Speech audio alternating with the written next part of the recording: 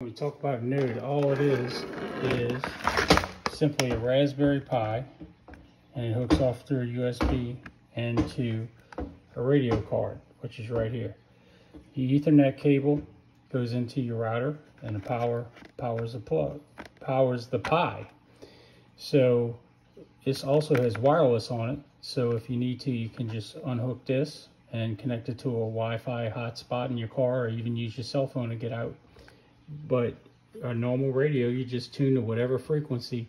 When you program it, it asks you what frequency you want to transmit and receive on this little device at.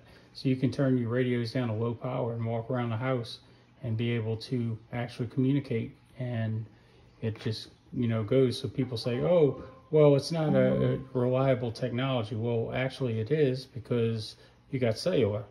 Plus there's other little perks to it, such as you're able to use an Android app called DV Switch and you actually connect into this thing and you're, you have yourself a little private node or like I can give this node number out to somebody and you can have your own little group chat. The sky's the limit with it, but I hope this helps you out.